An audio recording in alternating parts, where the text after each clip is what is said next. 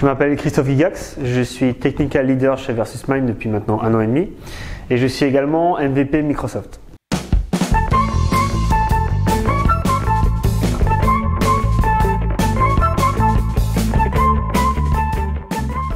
Je réalise au sein de l'agence de Strasbourg des projets agences à forte valeur ajoutée.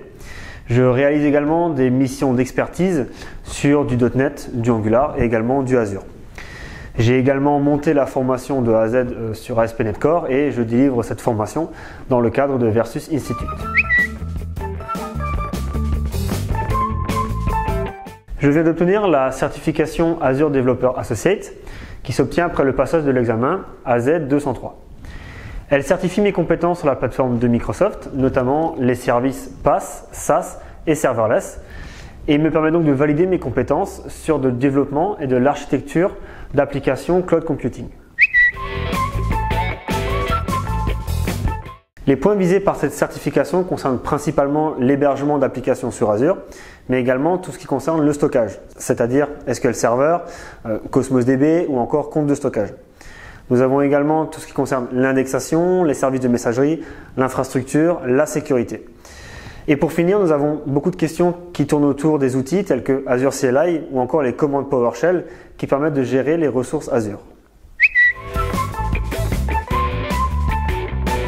Le cloud computing aujourd'hui est omniprésent et permet de répondre à des problématiques variées telles que la scalabilité, la haute performance ou encore la sécurité. Les grandes entreprises aujourd'hui telles que Netflix ou Facebook s'appuient sur des clouds publics et nous ne pouvons donc pas y échapper.